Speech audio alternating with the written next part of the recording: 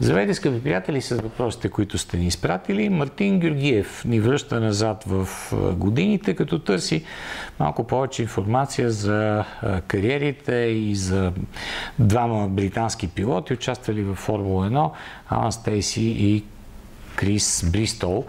Да, това са двама британски пилоти, реално от а, първата вълна състезатели, които опитват да, опит, да пробият в Формула 1, а, заедно с а, Стърлинг Мон, с Майк Хотън.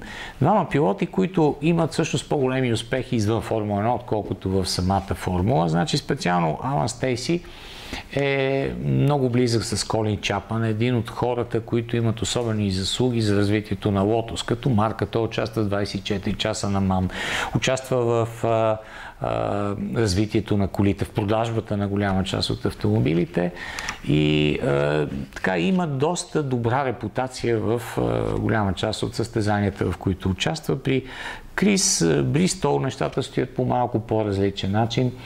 За него се смята, че той е изключително агресивен, изключително необмислени действия има в голяма част от състезанията. Почти винаги отпада, завърта се, нещо се случва и, и не е особено високо ценен. Той кара за Купър и може би най-интересният момент е, че и двамата загиват в едно и също състезание на спа на един и същи завой, който днес не е част от конфигурацията на трасето.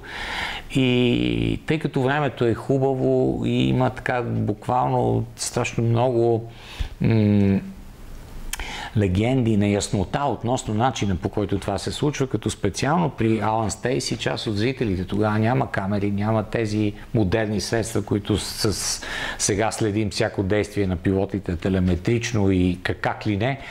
Да се твърди, че всъщност птица го, го удря или по-скоро той удря птица, която излита и тя буквално го убива на място. Това е един ужасен момент от историята на формулата. Те като цяло наистина са част от една друга епоха, в която започва да се развиват малките британски отбори и да стават все по-силни, да оказват съпротива на италианските гиганти, на Мерцедес в някаква част от историята, но специално Стейси и Бристол остават малко в сянката на големите звезди. Стърлинг Мос, Майк Хотън, Специално Мос е наистина е, един от най-големите герои изобщо в историята на формулата, търсен от е, всички големи отбори. И е, тези момчета просто поставят, тъй като те доста млади са двамата, когато загиват на спад през 60-та, поставят в някаква степен така прокарват пътя на, на следващите доста по-подготвени, според мен, състезатели, като Джим Кларк, като Грайм Хил, които вече стават световни шампиони и после идва и Джеки Стюарт и изобщо започва да се променят съотношенията на силите в а, Формула 1. Благодаря за въпроса, ще бъдем отново заедно скоро.